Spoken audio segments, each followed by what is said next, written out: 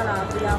L'autore è Philip eh, un professore cinese, storico, erudito che vissuto a Napoli. Ciao once again, Splendidos! Euro Splendor has been to Naples for two events. In my first video, I was at Scugnizzo Liberato covering UE Festival, a celebration of self-publishing and underground comics and zines. But for this installment, I braved the crowds of pop culture fanatics in the metro stations and queued outside the massive Mostra d'Oltremare to check out Comic Con Napoli.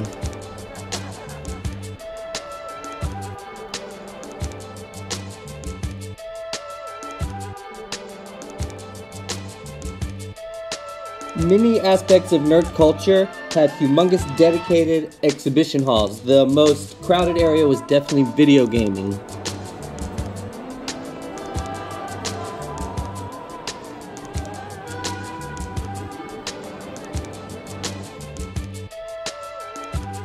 The event was hosting several video game competitions.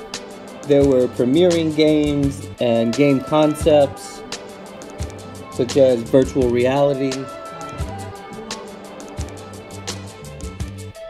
art inspired by video games, and vintage consoles and cartridges for sale. Cosplay enthusiasts, clubs, and professionals uh, had a place for meeting the public. This is a reenactment of the tragic events of Raccoon City. Amateur and aspiring cartoonists were recognized. Asian culture, manga, and anime filled an entire building. If you like pop culture merchandise, any giant cons like Comic Con Napoli are the place for you. Before we get to the comic artists, let's hear from another type of creator who is one with the Force and the Force is with her. Sofia, and this is Spade della Forza from Italy. We, we make uh, lightsaber for combat. We have uh, so many features for our lightsabers. Uh, you can choose uh, uh, the hilt, the blades, uh, the switches, uh, uh, the grip. Uh, these are uh, the, the hilt uh, model. We make this lightsaber by hand. Uh, Like Jedi. yeah, like Jedi.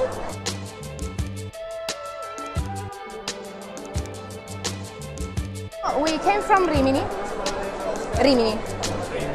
Rimini, um, a little city on the Adriatic Sea. Not uh, all of these people uh, know what is a lightsaber, so I have to explain.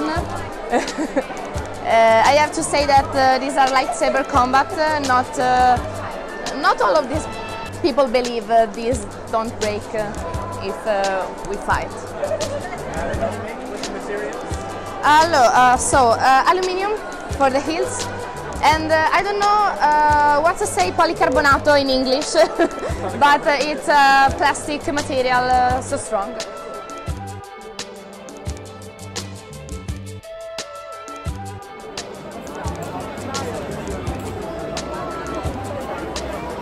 If you like games, but not so much the video variety, Comic Con Napoli still has you covered. All manner of board games, strategy and puzzle games. You can pretend to ride a bicycle in this game. Award winners and new products from around the world made this one of the most joyous areas of the convention, in my opinion. And now, onto the comic artists. You're working as an illustrator or Yeah, mainly as an illustrator, as a graphic designer as well. Now I'm trying to expand to comics as well, which is something I'm really passionate about, of course. Uh, yeah, but mainly as an illustrator, as a painter sometimes. So I'm I'm dealing with uh, images, let's say. I'm, I'm with Tremoon, which is our uh, fanzine. Basically, Tremoon uh, was born in, in the 80s, in 1982. All the authors, they were actually, you know, drawing the stories um, back then, uh, are now quite famous. They're basically all working for Bonelli, which is one of the, no, it, it is actually the biggest, um, the biggest like comic group in Italy. Just wanted to bring back to life the, the, the old fanzine in the in 2000 I think it was 2017 and they try to you know involve all you know young young artists as well, and I'm one of the young uh, artists. You know, artists with a lot of different styles and techniques as well. So you know, working together really helps. From you know basic techniques to you know way of telling stories in a, you know you understand how different people are using different ways to tell stories.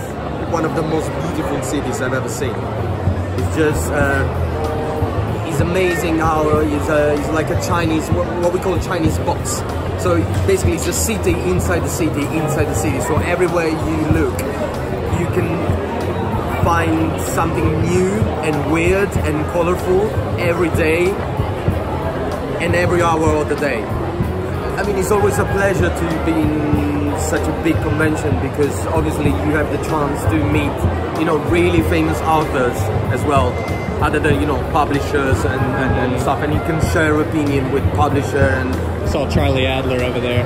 Pardon? Saw Charlie Adler over there. Yeah. Which is from one sheet. So basically, it is actually a big one sheet. So you, you open it like this, and you have the first uh, story, which is only four page, and then you have the first, the second one is an eight page story, and then you flip it over again, and you have two eight page stories.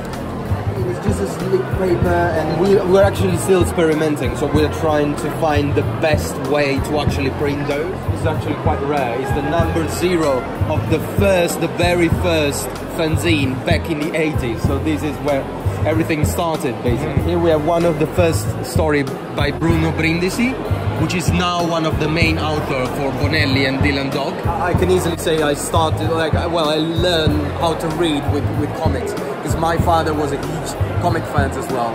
And that's how I've been introduced to reading and telling stories as well. Whoever wants to do comics, you don't really uh, need to know how to draw. It's more about how to tell a story. So the major advice I can give is basically just read as much as you can, draw as much as you can, and talk to other people are doing the same as much as you can. In fact, then, in the 80s, you actually need, you know, a publisher to get things on paper to bring your stuff around. Today, you don't really have excuses.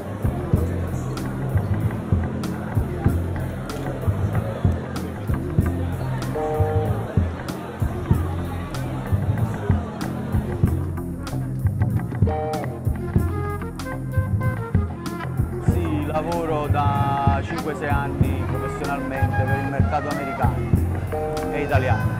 Lavoro per la No Express su The Stimulus Chronicles e per capitani italiani su Capitan Napoli. Mentre per l'America al momento sto lavorando sulla serie di Zorro.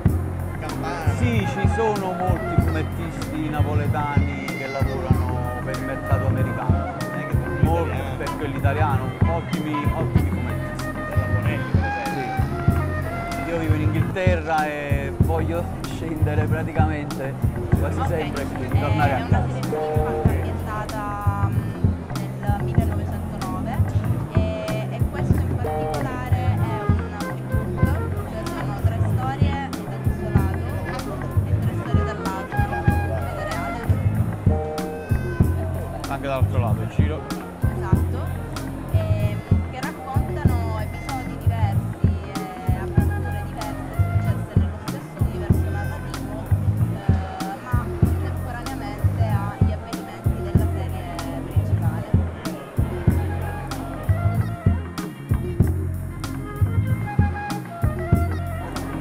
La, è la prima volta che c'è a Napoli ho un approccio diretto con i fan. Più lavorando per il mercato americano ho più un rapporto diciamo virtuale